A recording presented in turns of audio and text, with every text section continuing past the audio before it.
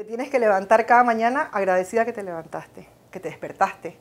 Tienes que eh, manejar tu día contenta de que estás manejando un día, de que puedes ir al supermercado, de que puedes ver a tus hijos, de que puedes pelearte con tu marido, de que puedes hacer todas las cosas que normalmente haces.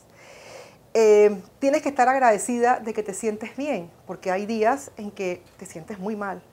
Entonces, uno tiene que escoger cada mañana, cuando uno se levanta, mirar todas las cosas buenas que te están pasando ese día. Y las malas las vas a observar, las vas a anotar para reportárselas al médico en caso de que sea necesario tomar alguna medida correctiva, pero no van a ser el centro de tu vida.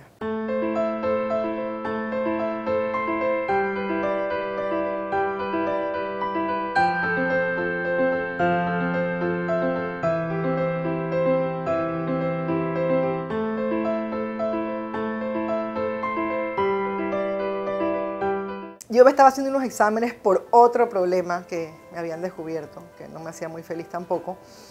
Y siempre me río cuando me preguntan del diagnóstico porque digo, el doctor me llamó cuando estaba dejando al fotógrafo de la prensa aquí en el estacionamiento después de cubrir una asignación y está ahí literalmente estacionada al lado de la prensa, me dieron la noticia y como que se te salta un latido al corazón cuando recibes la noticia. Eh, porque te, te vienen a la mente en ese segundo todas las cosas que te pueden pasar, entre ellas que te puedes morir. La parte más difícil del diagnóstico es comunicárselo a las personas que tú quieres, porque para ellos es difícil. Y, bueno, a mi esposo obviamente. Eh, segundo le dije a mi mamá y luego le dije a mis hijos, en ese orden. Y después mandé un email y le dije a todos mis amigos, bueno, después le dije a mis hermanos, esas fueron las personas a las que les comuniqué verbalmente.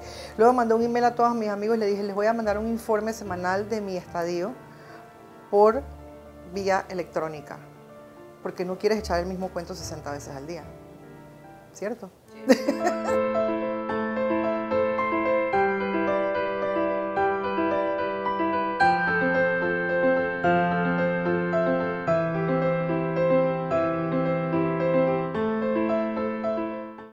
Te pone a prueba si tú tienes una plataforma de apoyo emocional, tú pasas tu tratamiento sin ningún problema. Yo tuve esa suerte. Yo tuve esa suerte. Eh, mi esposo fue a cada uno de los, a ver, 12, 16, 18, 24 quimioterapias que me pusieron. Se sentó ahí por todas las horas que se tuvo que sentar hasta que terminaran. Em, fue muy empático en los momentos en que yo no estaba bien, mis hijos también. Yo a todos los instruí, les dije, esto es lo que me están poniendo, esto es lo que me puede dar y todo el mundo lo tiene que saber. Y casi que les hacía examen.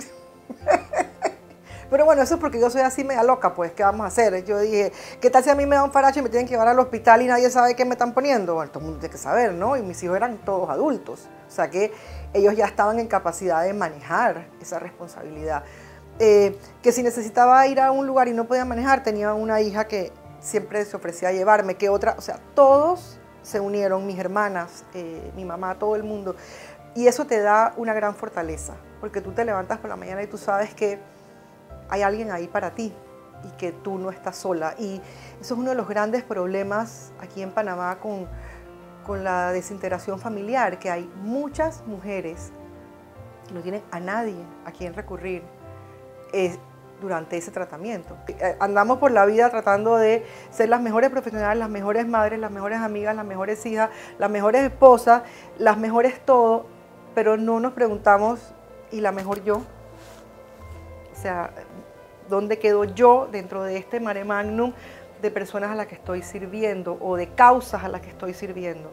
Todas las mañanas me levanto y digo, estoy aquí. Antes me levantaba y me levantaba muy contenta y tenía una lista de cosas que hacer en la agenda, pero ahora cuando me levanto por la mañana, todos los días agradezco que estoy aquí.